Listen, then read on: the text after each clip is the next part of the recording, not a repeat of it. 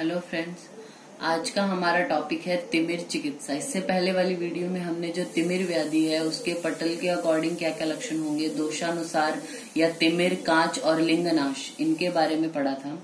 अब हम पढ़ते हैं उसकी चिकित्सा। तो जो आचार्य सुश्रुत हैं, उन्होंने बोला है कि दोषानुसार तिमिर है जो, उसमें स्नेहपान रक्त मोक्षण विरेचन, नस्य, अंजन, शिरोवस्ती तर्पण लेप या सेक का प्रयोग करना है। उन्होंने त्रिफला की इम्पोर्टेंस बताई है तिमिर में। तो त्रिफला का दोषानुसार कैसे? जैसे वात है, अगर वातज तिमिर है तो त्रिफला चूर्ण को तेल के साथ प्रयोग करना है। पित्तज है तो त्रिफला घृत को प्रचुर घृत के साथ, यानी क्वांटिटी और ज़्यादा ऐड करनी है घृत की। फिर अगर कफज तिमिर है तो त्रिफला चूर्ण है, जो उसको मधु के साथ प्रयोग करने को इन्होंने बोला है। इसके अलावा मेष श्रृंगी का जो फल या कल्क है, उससे सिद्ध किया हुआ जो घृत है, उसका प्रयोग करने को बोला है। फिर आचार्य वाघवट उन्होंने बोला, अगर तिमिर राग को प्राप्त हुआ हो तो रक्त मोक्षण आपको नहीं करना। मतलब रेडनेस भी है आँखों में पेशेंट की और तिमिर भी हो रहा है, तब सिरा मोक्षण ना करें। घृत कौन कौन से प्रयोग करने जीवंत्या आदि घृत पटोल आदि घृत द्राक्ष आदि या फिर त्रिफला आदि घृत उन्होंने क्या बोला? तिमिर के जो पेशेंट होते हैं, उनके लिए क्या क्या चीज़ें पथ्य हैं? क्या उनको प्रयोग करनी चाहिए? तो पुराण घृत है, त्रिफला है, शतावरी है, पटोल है, आम्लकी है, यव है, इनका सेवन करने को बोला। फिर ये बोलते हैं, जो तिमिर है, वो याप्य है। जो हमारे छह तिमिर हैं, वो याप्य हैं तो उनमें सिरा मोक्षण करना है आपको? और जो विरेचक द्रव्य हैं, विरेचक द्रव्य से सिद्ध किया हुआ जो घृत है, वो पेशेंट को पिलाना है ताकि उसका विरेचन हो।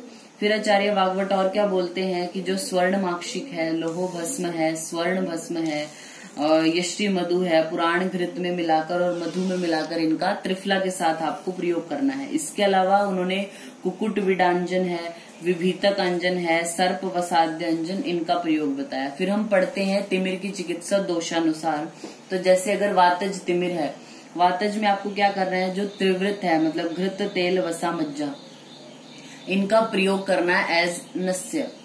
नस्य की तरीके से पेशेंट को देना है और इसके अलावा मुद्ग पर्णी अश्वगंधा, शतावरी, अतिबला, इनसे सिद्ध किया हुआ जो घृत है, उससे पेशेंट को नस्य देना है।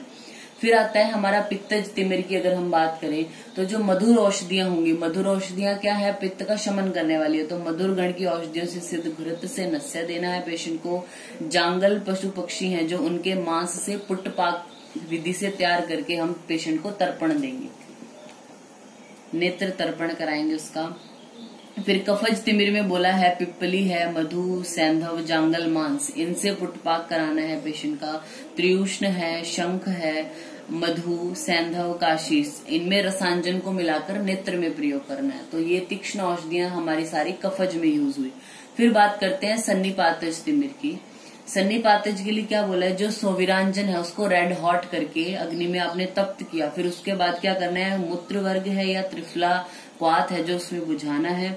उसके बाद क्या करना है? जो पक्षी होते हैं, उनकी अस्थियों में जो उनका अंदर से जो है, वो एक खोखला जो भाग होता है अस्थि का यानी जो स्पेस बचा हुआ होलो स्पेस है, उसमें इसको भर देना है।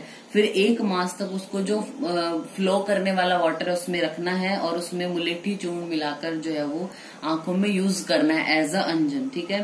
फिर रक्तज के लिए क्या बोला उन्होंने? रक्त तिमिर में क्या करना है? पित्तनाशक जो चिकित्सा है वो करनी है और पेशेंट को तर्पण, नस्य पाक या अभिषंद नाशक ट्रीटमेंट करना, जलोका के द्वारा रक्त मोक्षण कराने को बोला, ठीक है? तो ये हमारा दोषानुसार चिकित्सा है। अब एक है हमारा श्लैष्मिक लिंग नाश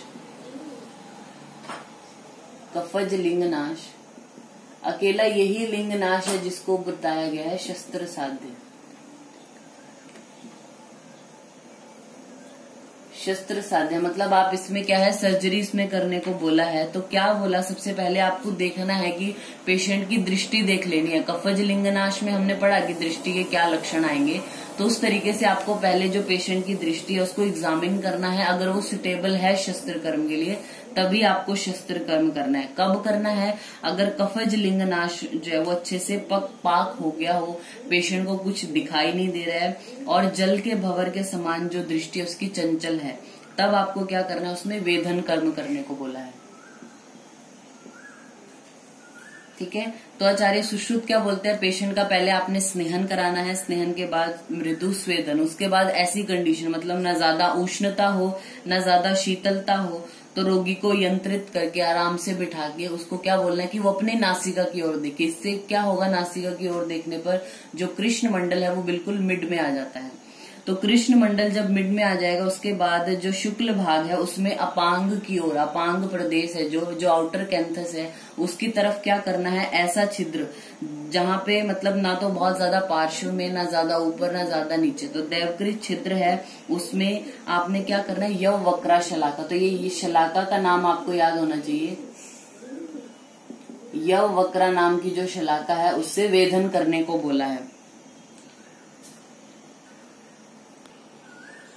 सम्यक वेदन आपको कैसे पता चलेगा? सम्यक वेदन होने पर एक विशिष्ट जो है वो आवाज़ आएगी वहाँ से और जल के समान जो है वो पदार्थ नेत्र से निकलेगा। ठीक है? तो जब सम्यक वेदन हो जाए, तब उस स्थान पे आपको स्त्री दुग्ध से सेचन करने को बोला है। और शलाका का जो अग्रभाग है, ये जो यव वक्रा शलाका इससे वेदन कर दिया। फिर इसी के अग्रभाग से जो दृष्टि मंडल है, उसका लेखन भी करना है। फिर जो नासिका है, उसके एक छिद्र को बंद करके पेशेंट को स्नीज, छींकने को बोलना है, जिससे क्या होगा, जो कफ है उसका निर्हरण हो जाएगा। जब दृष्टि बिल्कुल जैसे आकाश में जो सूर्य चमकता है, उसके जैसे दृष्टि चमकने लगे, पेशेंट को किसी प्रकार की वेदना ना हो सम्यक उसका लेखन हो गया है, दोष अच्छे से निकल गए हैं। तब आपको क्या करना है? धीरे धीरे वो जो शलाका उसको बाहर निकालना है। जो नेत्र का वो भाग है, जहाँ पे आपने शलाका का यूज़ किया, निवेदन किया, वहाँ पे घृत है जो, वो डाल के नेत्र पे जो है वो पटबंधन ऐसे कर देना है। अगर दोष अच्छे से ना निकले हो तो पुनः उसको स्नेहन स्वेदन करा के फिर से वेदन कराया जाता है, ठीक है? फिर पेशेंट को बोलना है कि उसको आहार नियंत्रित करना यानी आहार क्या उसके लिए पथ्य है, अपथ्य उनको बताना है, वात रहित स्थान पर रहना है उसको, और उद्गार, जो है वो कास या स्पिटिंग करना, ये सब चीज़ें उसको वर्जित बतानी है कि ऐसा ना करे वो। फिर थर्ड डे यानी तीसरे दिन क्या करना है? उस पट्टी को खोलकर जो वातग्न कषाय है, उससे नेत्र का प्रक्षालन करना है। फिर से उस जो पेशेंट को ऐसे ही पट्टी बाँध देनी है नेत्र पे, ठीक है? तो जो शलाका इसमें यूज़ कर नाम याद होना चाहिए, यह वक्रा शलाका है। आठ अंगुल लंबी होती है, इसकी मोटाई अंगुष्ठ उदर के समान है। ताम्र लोहो या स्वर्ण की ये बनी होती है, ठीक है? इससे क्या क्या कॉम्प्लिकेशन हो सकती है? आप ये शस्त्र जो क्रिया आपने की, इससे पेशेंट को लालिमा, शोथ चोश या फिर अधिमंत आदि व्याधियाँ हो सकती है, मांस वृद्धि हो सकती है, ठीक है?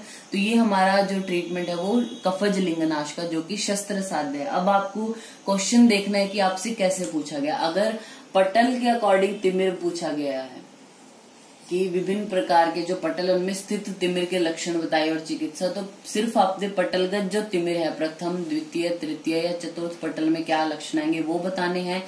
देन उसके ट्रीटमेंट को एक्सप्लेन करना है। अगर सिर्फ़ ऐसे लिख के आए कि तिमिर व्याधि है, जो उसके लक्षण, उनके भेद और चिकित्सा का वर्णन करे, तब पटल वाले जो तिमिर हैं, उनमें जो इम्पोर्टेंट पॉइंट्स हमने बताए थे, वो आप लिख सकते हैं। प्लस में दोषानुसार क्या लक्षण आएँगे, वो किसी एक आचार्य के अकॉर्डिंग भी कर सकते हैं। और फिर उसकी चिकित्सा का वर्णन कर देना है। और कफज लिंगनाश है, वो शस्त्र साध्य उसका ट्रीटमेंट आपने बताना है। जो तिमिर होता है, उसकी साध्य साध्यता की अगर हम बात करें, अगर प्रथम पटल आश्रित है तो साध्य होगा। द्वितीय पटल आश्रित है तो कृच साध्य और तृतीय में याप्य कहलाता है। तो तिमिर नॉर्मली पूछे तो याप्य आपने आंसर करना है। प्रथम, लेकिन पटलों के अकॉर्डिंग उसकी साध्यता साध्यता अलग है। प्रथम में साध्य है द्वितीय में कृच साध्य और तृतीय में याप्य। In modern timir can be correlated with cataract thank you